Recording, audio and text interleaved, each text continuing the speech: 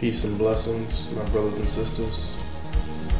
My verse of the week states If you then, who are evil, know how to give good gifts to your children, how much more will the Heavenly Father give the Holy Spirit to those who ask Him? Luke chapter 11, verse 13. God bless you.